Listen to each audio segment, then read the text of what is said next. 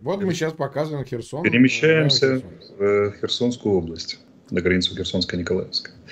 Там есть такое село Высокополье. Оно чуть правее и выше северо-восточнее Архангельска.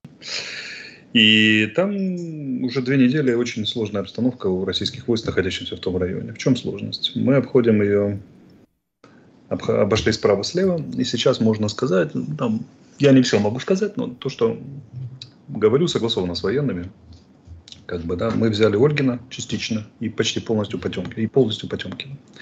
Как мы можем видеть, это два населенных пункта справа и слева от Высокополя.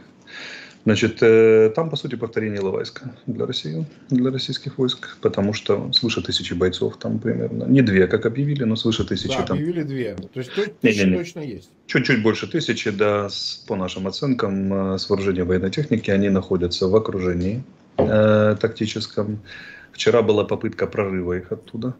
Э, была пресечена нашим огнем. Они вернулись назад и находятся, в, скажем так, три, на три четверти в окружении с огневым контролем выхода единственного. А российская команда не пытается что-то предпринять, помочь им там как-то освободить? Э, я думаю, что российская команда слегка деморализована тем, что происходит в Херсонской области. Это, кстати, прямое следствие работы по размягчению обороны химарсами. Кстати, очень хороший кейс, который гражданским людям, не понимающим в этих вещах, э, может показать, как это работает. Вот смотрите, э, многие задаются вопросами, ну хорошо, вы уничтожили штаб, уничтожили склад, и что? Они привезут новый штаб, привезут новый штаб. И вот то, и вот такие вещи случаются, когда командование, оглушенное потерями, оглушенное дезорганизацией, не успевает вовремя принять соответствующие меры. Но могу поздравить коллег из российских вооруженных сил, коллег, потому что мы все военные, не потому что я им сочувствую или я на их стороне, с первым маленьким котлом в этой войне.